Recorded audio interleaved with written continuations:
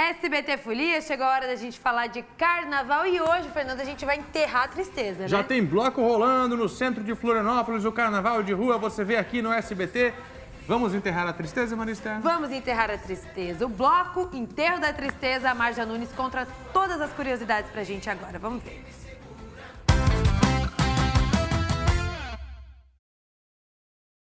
Todos dessa turma têm duas situações em comum. Amam o carnaval e trabalham na área da saúde. E foram essas duas paixões que levaram funcionários da Fundação Hospitalar de Santa Catarina em uma quinta-feira de carnaval, com a intenção de animar os colegas a criarem o bloco SOS. A Maria Helena é uma das fundadoras e colabora com o bloco há mais de 40 anos. Começaram com a brincadeira do enterro da tristeza. E isso ela desfilou até na Avenida Paulo Fontes por alguns anos.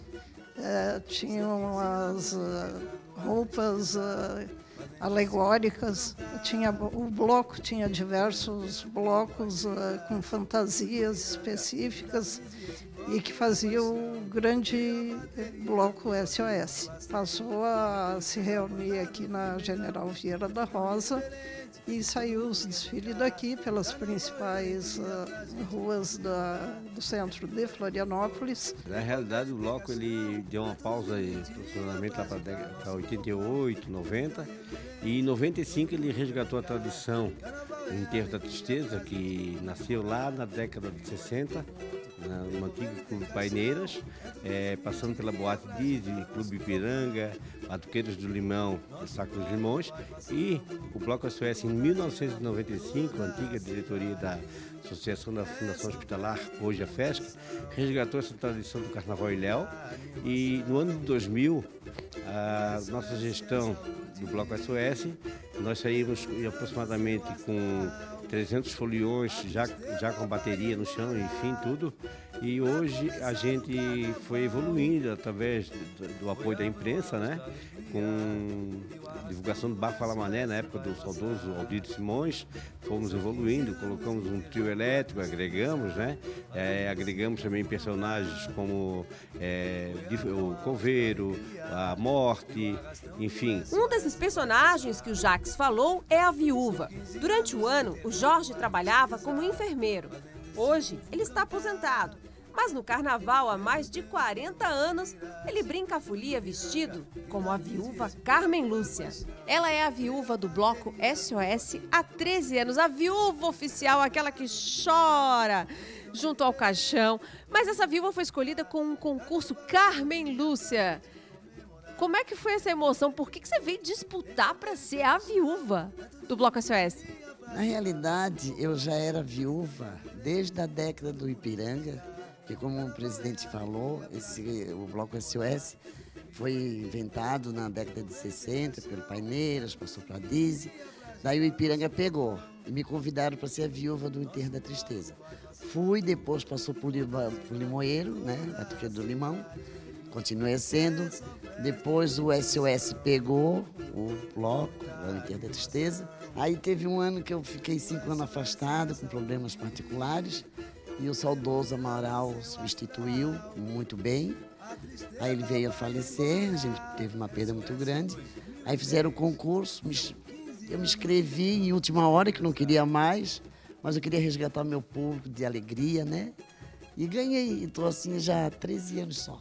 Além de uma corte que é eleita todos os anos, o bloco conta também com uma madrinha, Durante o ano, ela atua como técnica de enfermagem, mas nos meses de janeiro e fevereiro, o compromisso é com o carnaval. São 21 anos dedicados à folia.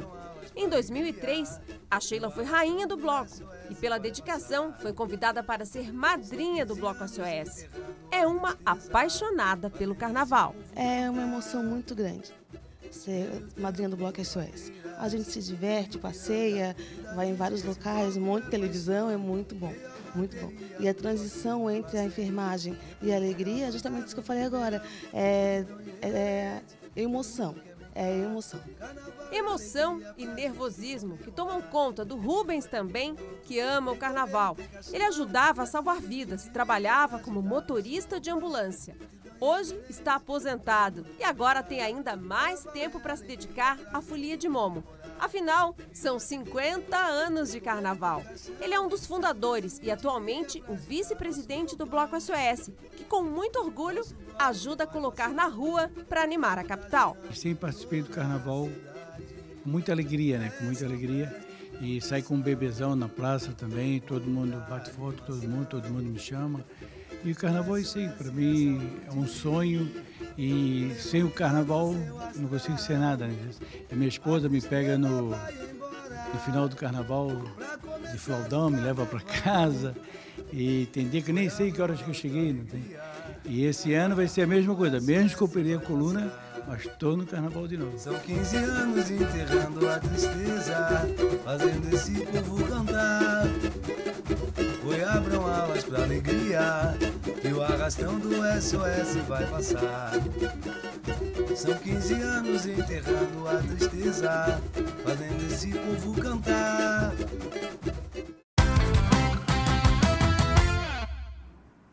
É hoje que esse povo vai enterrar a tristeza, hein, Fernando? Já enterrou a sua?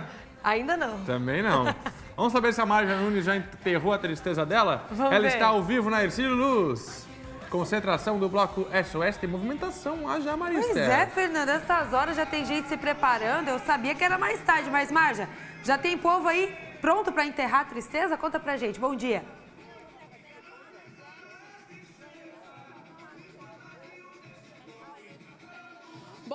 Aqui na Avenida Ciro Luz, o clima é de carnaval centrão de Florianópolis. O pessoal do Bloco SOS tá todo mundo aqui, ó, super concentrado. Jax, vamos falar agora então a partir de que horas o pessoal já pode chegar para enterrar a tristeza nessa quinta-feira. Bom, bom, bom dia, porque ninguém almoçou ainda, né?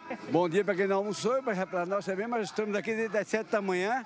A concentração começa às 14 horas, com DJ. Às 16 horas vai ter banda do pagode, grupo Dos Querer. E às 19h30, largada com a banda do Ribeirão da Ilha, a tradicional banda do Zé Pereira, com três trios elétricos e o Arrastão da Alegria do SOS, abrindo e dando a largada do Carnaval de Florianópolis. Largada do Carnaval de Florianópolis, vou pedir para essa mulherada toda sambar, porque a corte aqui é bonita, tem samba no pé. Todo mundo empolgado começando essa semana do Carnaval.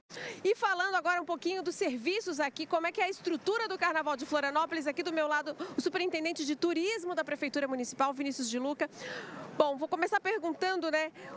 Qual é a estrutura que o público encontra no Carnaval de Rua esse ano 2020? Boa tarde, Vinícius. Bom, boa tarde. A Prefeitura apoia esse ano 82 blocos de carnaval no centro nos bairros, sem dinheiro público.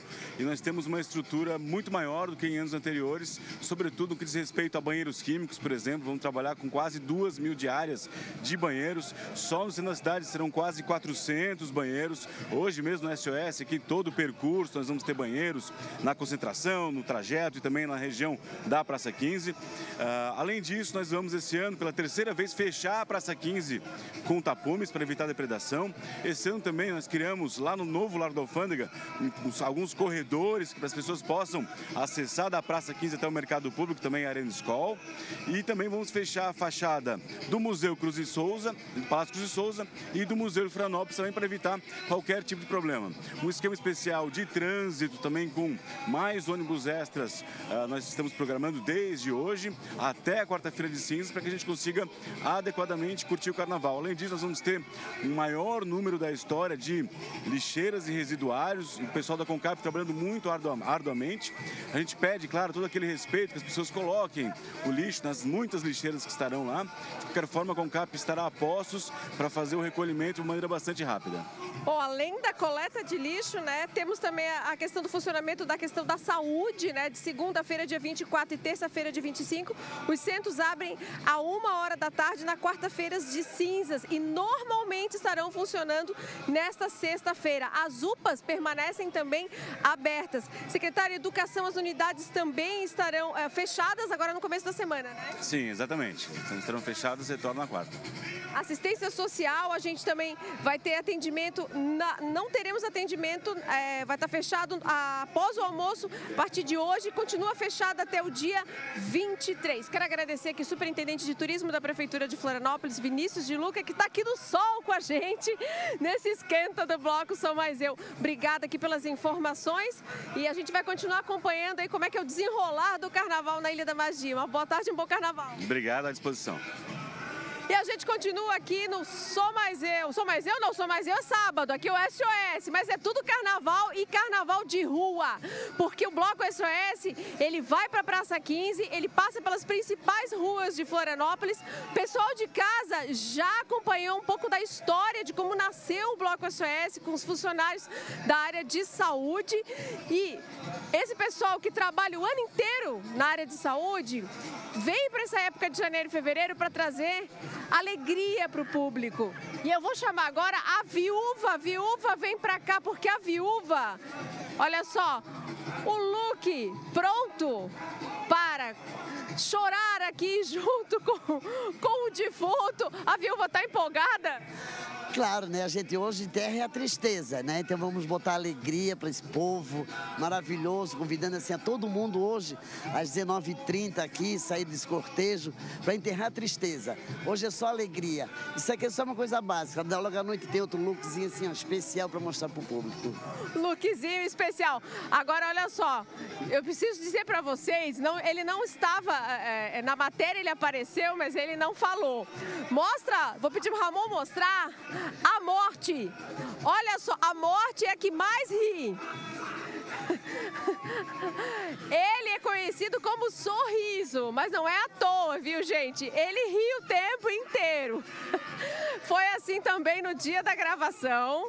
É só risada, só risada. Agora vocês estão vendo um momento aí que o, o defunto acordou, levantou, porque é a quinta-feira de carnaval, é o enterro da tristeza. Ninguém fica mais triste a partir de hoje até a quarta-feira de cinzas. Essa é a alegria do bloco SOS, tradicional aqui de Florianópolis que retornou para o carnaval em 1995. E aqui comigo, olha só, a rainha, deixa eu passar para cá. Rainha tá lindíssima. Qual o segredo para não deixar a maquiagem derreter nesse calor? Olha, impossível com esse sol, mas a gente continua com sorriso no rosto e tentando transmitir alegria para ninguém perceber que a maquiagem já era.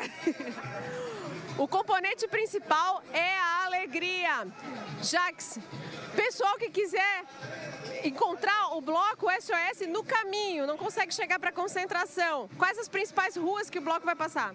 O bloco sai aqui da Avenida Estilo Luz, com a Avenida Mauro Ramos, antiga rodoviária, concentração. Ele percorre a Avenida Estilo Luz, como eu falei, Rua Anitta Garibaldi, Rua dos Ilhéus, passando de frente à Catedral, com destino à Praça Fernando Machado, próximo ao Largo da Alfândega.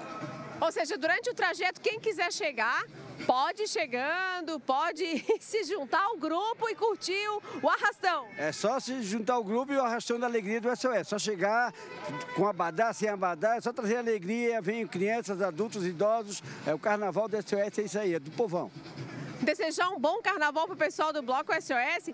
Vamos relembrar um pouquinho de tudo que a gente mostrou nesse SBT Folia. Na sexta-feira passada a gente abriu a série mostrando o berbigão do Boca.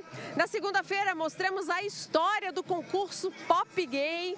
Na terça-feira, Carnaval de rua com o bloco Sou Mais Eu. Na quarta-feira, os carnavais de Santo Antônio de Lisboa e também do Sambaqui. E hoje bloco SOS. Esse é o carnaval de rua de Florianópolis, onde tudo começou, né? Do intrudo, a, as, as primeiras manifestações carnavalescas em torno da Praça 15. A gente passa pela história das grandes sociedades, pela formação das escolas de samba aí no final da década de 40, início da década de 50.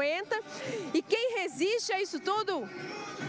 o carnaval de rua, porque esses blocos, que todos esses que eu citei aí, o bloco SOS, o bloco Sou Mais Eu, é, o Pop Gay veio um pouco depois. Veio... Aí está o enterro da tristeza ao vivo do centro de Florianópolis, a Marja Nunes mostrando tudo pra gente, os detalhes ao vivo desta concentração que já começou na Avenida Ercílio Luz.